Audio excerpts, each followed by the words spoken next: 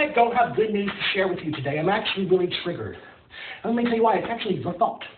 So let me break it down for the low IQs out there, which is actually most of you. I made a YouTube video and I said, I'm two steps ahead. My whole life is premeditated. It's calculative. It's manipulative. My life has been a social experiment. Joke's on you. I'm actually really smart. And what was the result of that video? Millions of people believed it.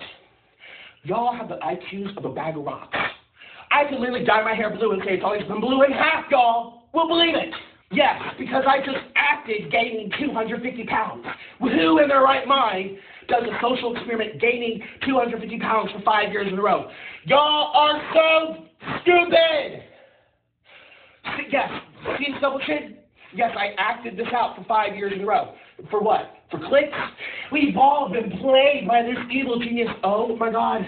I literally typed up a Batman monologue and read it on camera.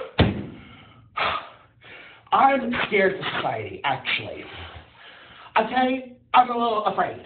Y'all need to go to school, learn something, think outside the box. Don't believe everything you're told, including from me. And yet, y'all believe it. That's actually scary.